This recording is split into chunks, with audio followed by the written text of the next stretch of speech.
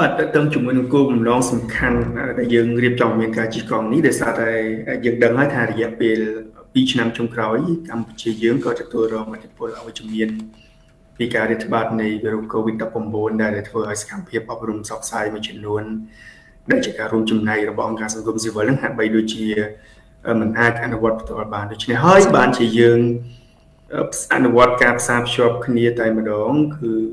ទី1គឺយើង ចង់ធ្វើការអប់រំផ្សព្វផ្សាយតាមលើ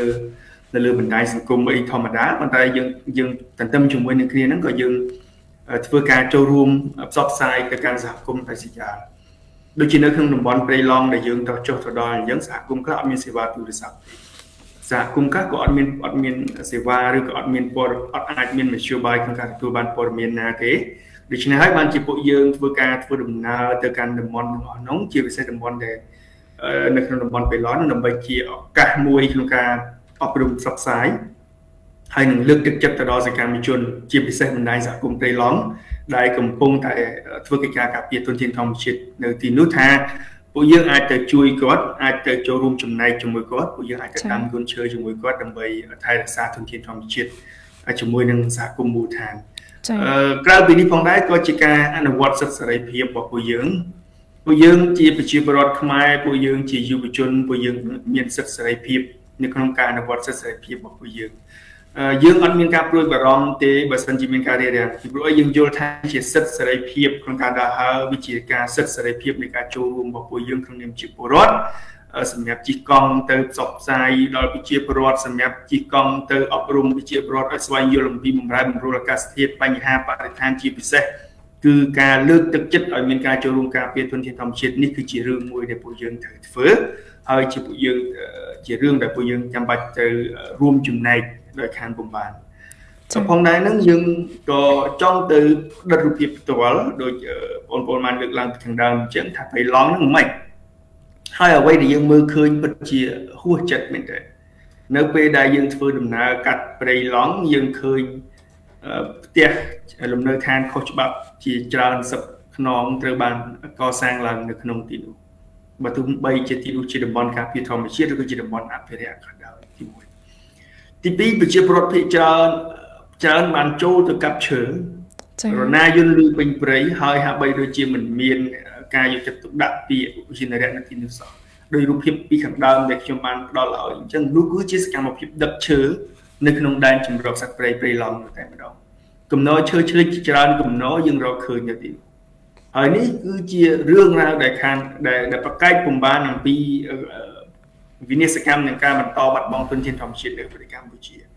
នេះគ្រាន់តែជាកំណាត់ឈើហើយចោះការពន្ទ្រានដីដោយខុសច្បាប់ដែលបន្តកើតមានឡើងនៅទីនោះដែលយើងឃើញដែនជំរកសត្វព្រៃវាទៅជាតពេកវាទៅជាប្រហោងដោយកន្លែងកន្លែងដែលសារសកម្មភាពពន្ទ្រានយកដី ហើយពុំមានចំណាត់ការនឹងការធ្វើអន្តរាគមន៍ប្រជាពលរដ្ឋនៅទីនោះគាត់បានប្រាប់ពួកយើងថាការចូលមកកាប់នៅទីនោះនឹងគឺ3ឆ្នាំហើយអ្នកអ្នកខ្លះមករស់នៅ2 3ឆ្នាំហើយយើងលឿនពេកមិនមិនមិនខ្លីប្រហែលទេហើយប៉ុន្តែចុះអាញាធរនៅឯណាបានជាមិនចាត់វិធានការអញ្ចឹងអានេះជារឿងមួយដែលយើង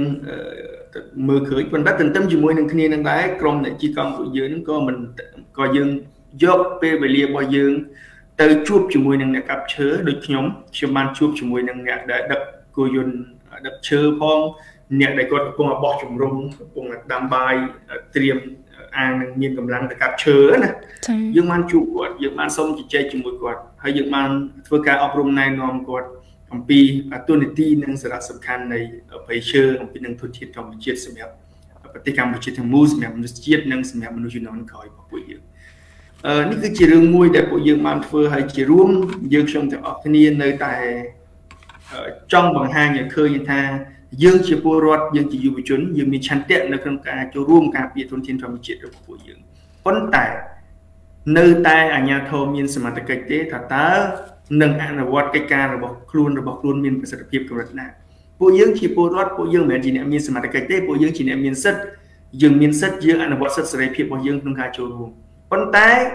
ប្រសិនបើពលរដ្ឋមានសិទ្ធិហើយទៅធ្វើនៅពេលដែលអាជ្ញាធរមិនយកចិត្តទុកដាក់នៅក្នុងការអនុវត្តសមត្ថកិច្ចរបស់ខ្លួននៅក្នុងការអនុវត្តកិច្ចការរបស់ខ្លួន